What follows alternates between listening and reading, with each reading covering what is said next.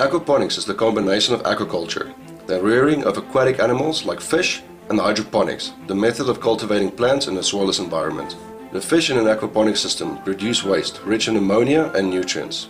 This ammonia-rich waste is then broken down by naturally occurring microbes and worms, converting it into nitrates. The nitrates are then absorbed by the plants, cleaning the water as it flows back into the fish tank. Aquaponics uses 90% less water than conventional agricultural practices. And because aquaponics is naturally organic, no harmful chemicals are used in this process.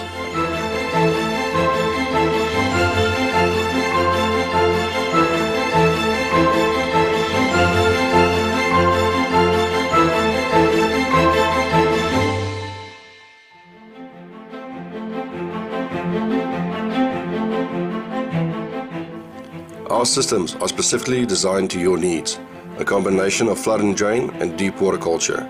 The grow beds are made from reinforced fiberglass and the whole system is covered by a steel framed greenhouse tunnel, ensuring strength and stability.